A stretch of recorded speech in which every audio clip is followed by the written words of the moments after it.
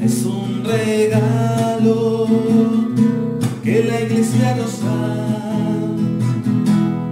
El bautizo y la confirmación, la Eucaristía y la penitencia, unción de los enfermos, orden sacerdotal.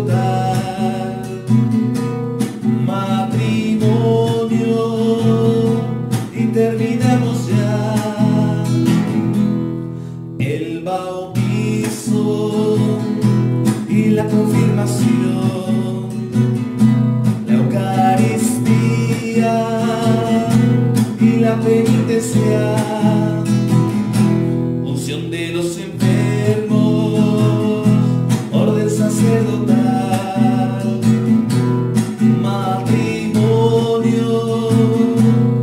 terminamos ya